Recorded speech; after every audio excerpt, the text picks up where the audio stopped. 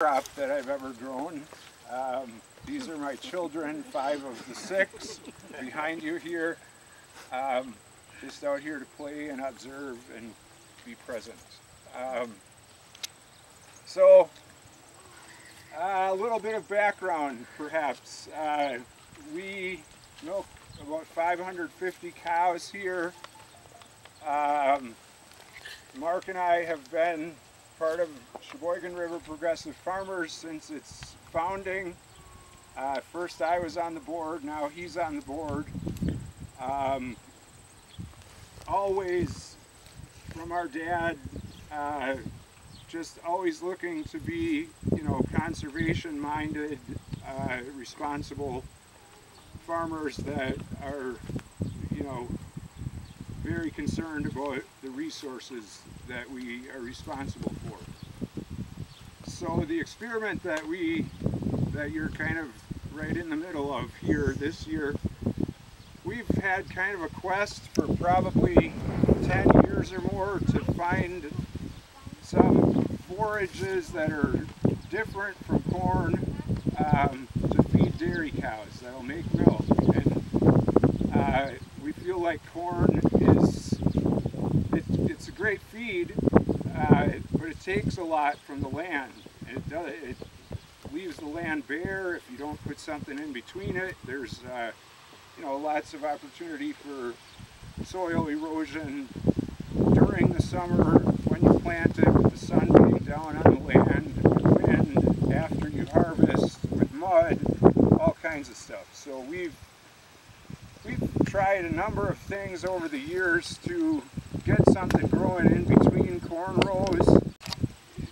There's a lot of videos and people that will tell you you can, you know, get just as much corn and have these crops in between. I'm not saying I don't believe them. Uh, we didn't do it correctly this year, I'll tell you that. It's not a proud moment for us. It's, it's hey, if you're going to improve and try to learn, we have to make mistakes. We have to try things we've never done before, and here it is. Um, so about the original sort of experiment process. Um, we wanted to, to grow 44 inch rows of corn in twin rows to spread, spread the population a little bit and put, a, put something interseeded in between that would make good forage. We had a planter lined up with a 22 inch planter that said he could plant 44 inch rows. The day before we wanted it planted, he said it wasn't going to work. So we figured out we can shut off one of our rows on our 30 inch planter and we were going to do 60 inch twins and I blocked off the drill so that we wouldn't plant right on the corn because we've learned before that corn doesn't like to compete with stuff. Uh, it just doesn't do very well in competition. Especially last year we had a plot mix and we had a heavy mix of brassicas in there and we found out they take all the nitrogen away from the corn before the corn. So this year we had some different blends. It's on the paper, some of the blends that we have. But right from the start, we messed up the planting. Um, somehow the GPS did not we have a drill and a planter. We did this, I drilled first. We were going to plant behind it. I marked where I didn't sow. And Mark got lined up on that. And somehow, instead of twin rows, we have a population of 33,000 plants of corn all on top of each other in 60 inch rows. So that's pretty dense population. The corn's competing with itself too much to do very well. Uh, we also didn't get it to follow the track that I didn't sow the other crop in somehow. Um, so, you know, we screwed up. We didn't get the experiment right to start out. Um, we put in, uh, there's buckwheat in all three of our trials. That was supposed to, buckwheat's supposed to come up in two days or three days to suppress weeds. Uh, I think it actually did a pretty good job. Now, we have a bunch of weeds here. Uh, they've come in late. I think some of that has to do with how dry it's been and just these crops aren't, you know, super robust. Just kind of been spindly and struggling all along. We have, we're under half the rain that we've had last year. We planted this on May 17th and from that day till now we're in the neighborhood of eight inches of rain. Last year we had 16 and a half by this time. Um, and we have probably only two inches or so since about the second week of June. It's been really dry. I mean, the corn that doesn't have this, we have some lower ground that has corn that's nine or 10 feet tall, but um, a lot of our corn is really short.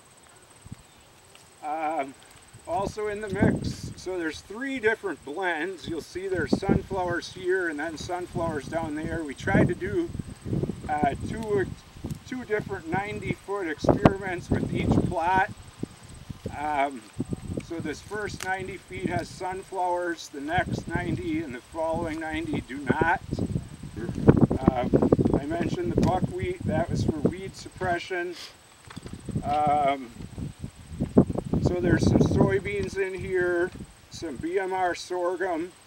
Uh, we tried some flax to see if that would uh, improve omega-3 in the feed.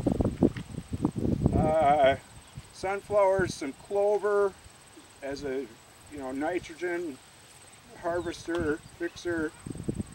Um, so that's pretty much what this first one is, the stuff in between the rows. Um, then the second one had a bunch of peas in, some cowpeas and forage peas, again some sorghum, again some soybeans, there's some kale, and kale seems to dominate in that. Uh, right behind us there you can see those big leaves over there. Uh, there's also buckwheat in that. Uh, then the third one, the third trial, which will be the 60 to 90 feet away from here, uh, that was, the mix we put in there wasn't intended so much for forage, it was more to find out if we could plant a cover crop at the same time, do well through the summer and then you know really flourish after we took the corn off. So that has uh, hairy vetch and clover and buckwheat is the only three things in there. Um, so that's those are the things that we've tried. Um, so we just had one spray pass the day after we planted it with Roundup. Um, I don't think there was much of anything else in there. Earl, you might be able to, well, I think it was just Roundup here. Um, we, so this, uh, this was a heavy uh, winter rye that we were planting into.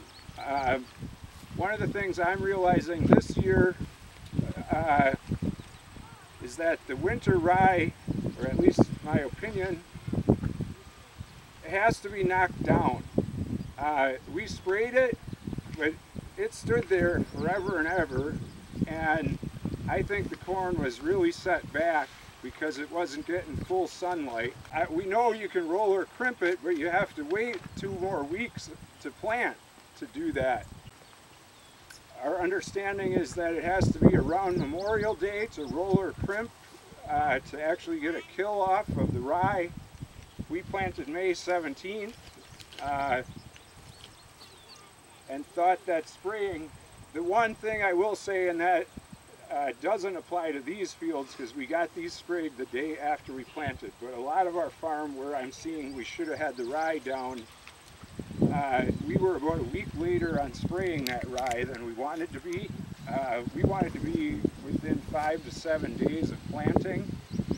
And there was a rain event and some excuses from the co-op and we didn't get it sprayed until a week later and I this tall. It was crazy.